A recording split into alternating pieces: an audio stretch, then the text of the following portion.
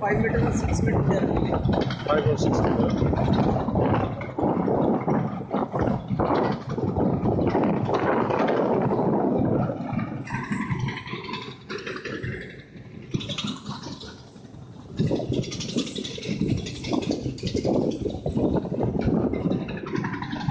Recently joined two. Recently joined two days back.